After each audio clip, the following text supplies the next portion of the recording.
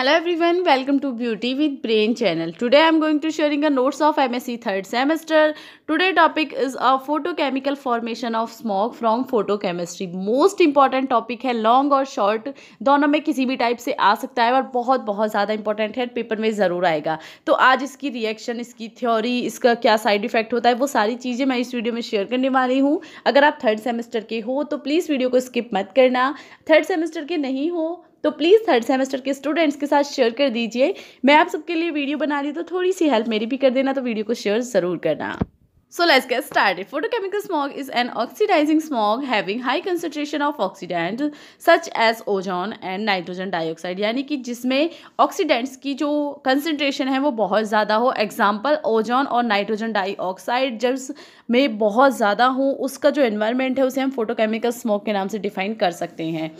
Then है or hydrocarbon and other organic compound in atmosphere are assumed to oxidize through a series of series of steps, chemical and photochemical reaction. यानी कि atmosphere में बहुत सारे ऐसे organic compounds होते हैं जो कि ऑक्सीडाइज किए जाते हैं केमिकल स्टेप्स के द्वारा। Hydrocarbon do not directly react with the sunlight but reactive towards other substance produce photochemically hydrocarbon जो होता है हमारे एनवायरमेंट में पाया जाता है, उसमें ये होता है कि वो डायरेक्ट रिएक्ट नहीं करता है सनलाइट लेकिन जो अदर सब्सटेंस होते हैं, जो फोटोकेमिकली रिएक्शन के द्वारा प्रोड्यूस किए जाते हैं, उनसे रिएक्ट करता है, ठीक है? हाइड्रोकार्बन देन है इफ़ ये भी इसमें पूछा जा सकता है कि हाइड्रोकार्बन सनलाइट से डायरेक्ट रिएक्ट करता है या नहीं करता, हालाँकि बहुत ज़्यादा इजी वे में है बट ये पूछा जा सकता है, जैसे सनलाइट का दे दिया अदर ऑप्शन आपको दे दिए जो कि फोटोकेमिकली रिएक्शंस के द्वारा प्रोड्यूस हो तो उनसे पूछ सकता है कि इनमें से किससे रिएक्ट करेगा हाइड्रोकार्बन एनवायरमेंट में तो उसमें अगर आपको पता है तो आप करोगे। Then it has been observe that automobiles contribute a large number of hydrocarbon emitted to the atmosphere every year ये सब आपको पता ही है कि बहुत सारे रीजन्स होते हैं फोटोकेमिकल स्मोक यानी कि फोटोकेमिकल स्मोक अगर आप इजी लैंग्वेज में लो तो वो है आपका पर्यावरण प्रदूषण, यानी कि एनवायरनमेंट पॉल्यूशन तो इसमें जो कंट्रीब्यूट करता है हाइड्रोकार्बन को प्रोड्यूस करने में एनवायरनमेंट में, उसके पीछे का रीज़न जो है मेनली वो होते हैं ऑटोमोबाइल्स जो कि सबको पता है देन है. Among those hydrocarbons which are identified in the atmosphere are methane ethane ethene and propane and butane isopentane and pentane toluene and M xylene etc. यानी कि हाइड्रोकार्बन किस किस फॉर्म में पाए जाते हैं? ये वो नाम है जो आपको पता होने चाहिए। Hydrocarbons are removed from the atmosphere by several chemical and photochemical reactions यानी कि हाइड्रोकार्बन जो है, वो एटमॉस्फेयर से रिएक्ट किए जा सकते हैं। बहुत सारी फोटोकेमिकल्स रिएक्शंस करा के, यानी कि जब फोटोकेमिकल रिएक्शन होगी तो कोई बेकार चीज़ अच्छी चीज़ से जॉइंट हो जाती है ऐड हो जाती है उसमें, और उसका जो रिज़ल्ट होता है वो पॉजिटिव होता है, यानी कि अच्छा होता है। देन है by oxidize sorry oxidation process they give C acids and aldehydes as end product which are washed away by तो ऑक्सीडेशन के द्वारा C amino acids and aldehydes जो दिए जाते हैं, वो ये होता है कि जो बारिश होती है, उसके द्वारा खुद ही वहाँ से बह जाते हैं, वहाँ से हट जाते हैं रिमूव हो जाते हैं।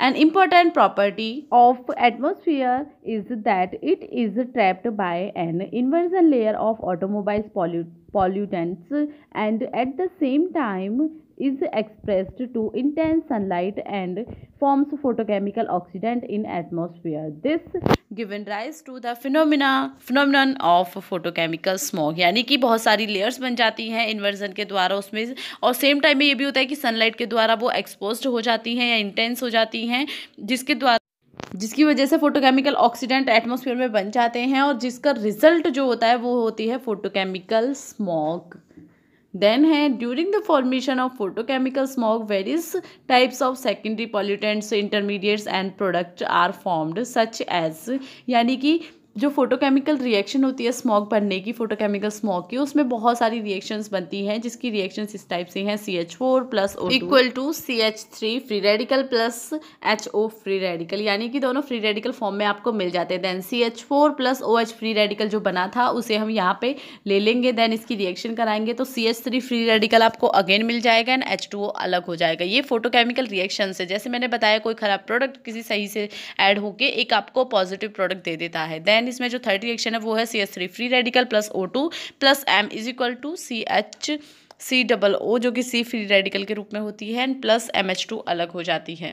देन है in the atmosphere the organic compound rapidly react with O three N O two and free radical like O H and E T C यानी कि एटमॉस्फेयर में जो ऑर्गेनिक रिएक्शंस होती हैं, वो रैपिडली रिएक्ट करती हैं O three N O two free radical H O and H double O के साथ ओके तो यहाँ तक का क्लियर है। अब क्या रह गया? हमारी रिएक्शन रहेगी जो बहुत ज़्यादा इंपॉर्टेंट है, थोड़ी सी थ्योरी एंड देन इस फोटोकेमिकल स्मोक के साइड इफ़ेक्ट क्या है? साइड इफ़ेक्ट बहुत ज़्यादा इंपॉर्टेंट है पेपर में ज़रूर आते हैं वेरी शॉर्ट में भी आ सकता है।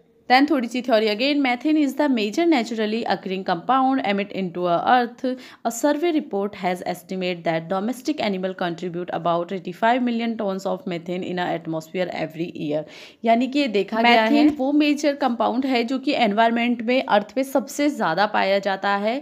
एक सर्वे रिपोर्ट के अकॉर्डिंग ये कहा गया था कि जो डोमेस्टिक एनिमल्स होते हैं वो eighty five million tons of methane atmosphere में देते हैं। यानी कि उनकी वजह से मैथिन जो है वो eighty five million tons environment में पाई जाती है, किसकी वजह से? डोमेस्टिक एनिमल्स की वजह से। काफ़ी ज़्यादा सिंपल पॉइंट है ये इंपॉर्टेंट भी है। देन है methane is also produced by bacteria in anaerobic decomposition of organic matter यानी कि बहुत सारे बैक्टीरियाज के द्वारा भी ऑर्गेनिक मैटर जब उनकी रिएक्शंस होती है डिकम्पोजिशन होता है तो उससे भी मैथेन पाई जाती है उनके डिकम्पोजिशन से तो वो भी काफ़ी ज़्यादा हेल्प करते हैं। मेथेन को प्रोड्यूस करने में एनवायरनमेंट में। देन है methane has a mean residence times to about three to seven year in atmosphere sorry main था वो, यानी कि मेथेन का जो मेन टाइम है रेसिडेंस होने का एनवायरनमेंट में, वो थ्री टू सेवन ईयर्स होता है एटमॉस्फेयर में ओके तो यहाँ तक का अब क्लियर है पढ़ लेते हैं इसकी रिएक्शन रिएक्शन बहुत ज़्यादा इंपॉर्टेंट है। प्लीज़ अच्छे से पढ़ना, हालाँकि बहुत ज़्यादा सिंपल है बट फिर भी थोड़ा ध्यान से। रिएक्शन ऑफ़ स्मोक फॉर्मेशन सबसे पहले आपका आएगा हाइड्रोकार्बन देन उसकी रिएक्शन कराएँगे हम O2 से तो आपको मिल जाएगा R C H two O O जिसमें एक जो ओ है वो फ्री रेडिकल के रूप में होगा। देन उसकी रिएक्शन हम जब एन से कराएँगे R C H two and O free radical plus N O two अलग हो जाएगा। देन जो आपका R C H two O free radical मिला था उसकी रिएक्शन हम ओ टू से कराएँगे तो हमें मिल जाता है एच ओ ओ यानी कि एच टू ओ बट जब इसे बॉन्डिंग में देखेंगे तो एक जो ओ है वो इसमें फ्री रेडिकल की फॉर्म में होगा ठीक है? देन इस पर जब एन ओ की रिएक्शन कराएँगे तो ओ एच फ्री रेडिकल रहेगा देन एन ओ टू अलग हो जाएगा। इसकी रिएक्शन अपर साइड हो जाएगी R S C S three के साथ आर सी एस थ्री के साथ तो आर अलग हो जाएगा and C H two free radical के रूप में कार्बन इसमें जॉइंट हो जाएगा। देन जो आपका एच डबल ओ था, वहाँ आर सी एच ओ की हम रिएक्शन करा देंगे तो आपको क्या मिलेगा? आर सी एच ओ पे ओ एच की रिएक्शन कराएँगे। R C H O stable aldehyde आपको लेना है इसकी रिएक्शन के लिए। देन उस पर जब ओ एच की रिएक्शन कराएँगे, हम फ्री रेडिकल फॉर्म में ओ होगा तो वहाँ पे आपका R C double bond O आपको मिल जाएगा, जिसमें कार्बन जो है वो फ्री रेडिकल की फॉर्म में ही होगा। देन जब इसमें दोबारा रिएक्शन होगी तो वहाँ पे आपको क्या मिलेगा? R C double bond O then O and O O जो है, इसमें एक ओ रहेगा आपका फ्री रेडिकल की फॉर्म में। अब हम इसमें जब एनओ टू की रिएक्शन कराएँगे तो R C double bond O O रहेगा सी ओ यहाँ पे सेम रहेगा जो सेम था, पर जो ओ आपका फ्री रेडिकल की फॉर्म में था, वो वहाँ से उस पर से फ्री रेडिकल हट जाएगा and N O two joint हो जाएगा। एन ओ टू एक ओ पे डबल बॉन्डिंग आ जाएगी, जिसका नाम हो जाएगा परऑक्सी एसिल नाइट्रेट यानी कि पी ए एन बहुत बार ये क्वेश्चन पूछा जाता है कि फॉर्मेशन ऑफ़ स्मॉग में जो लास्ट कंपाउंड होता है, वो क्या होता है? तो वहाँ आपका नाम पता होना चाहिए परॉक्सी एसिल नाइट्रेट उसका नाम होता है, यानी कि P A N this is the mechanism formation of smog तो यहाँ पे इसकी ये मैकेनिज्म थी। काफ़ी ज़्यादा सिंपल है, आप अच्छे से पढ़ोगे तो आपको पता चल जाएगी। देन अब देख लेते हैं effect of smoke on life यानी कि इसके बहुत सारे साइड इफ़ेक्ट होते हैं, जो फॉर्मेशन ऑफ़ स्मोक होता है तो वो क्या क्या है? सबसे फ़र्स्ट है डैमेज टू मटेरियल यानी कि कुछ मटेरियल्स को डैमेज करता है, जैसे कि रबर हो गया वेजिटेशन हो गया रेसिड्यूज विजिबिलिटी हो गई रेस्पायरेटरी डिसऑर्डर जो हैं वो फोटोकेमिकल ऑफ़ स्मोक फॉर्मेशन के ही रिज़ल्ट होते हैं। देन है P A N peroxy acyl nitrate is produced in the atmosphere which is a phototoxic substance and has also been found highly toxic to plants यानी कि जो P N product बनता है वो प्लांट्स हब्स के लिए and trees के लिए काफ़ी ज़्यादा हार्मफुल होता है। तो ये खुद बन के भी हमारे एनवायरमेंट को डायरेक्टली अफेक्ट करता है।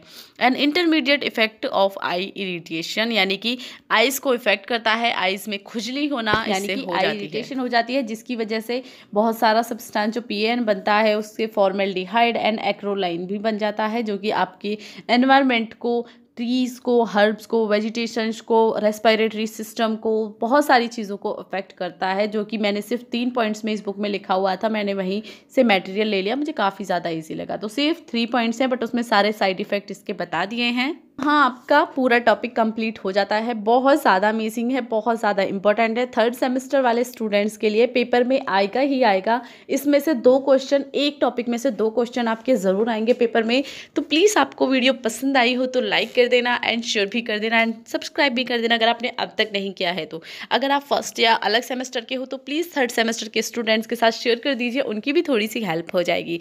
So thank you so much for watching आपको किस टॉपिक पर वीडियो देखनी है, मुझे कमेंट करके बताएँ। ज़्यादा से ज़्यादा जिस टॉपिक के लिए रिक्वायरमेंट होती है स्टूडेंट्स की, मैं उसी टॉपिक पे वीडियो लेके आती हूँ। So thank you and bye bye पूरी वीडियोस देखा कीजिए, आपकी बहुत ज़्यादा हेल्प होगी। यूट्यूब पे अकेला ऐसा चैनल है जो आपको एमएससी के नोट्स प्रोवाइड करता है। तो please like share and subscribe and thank you again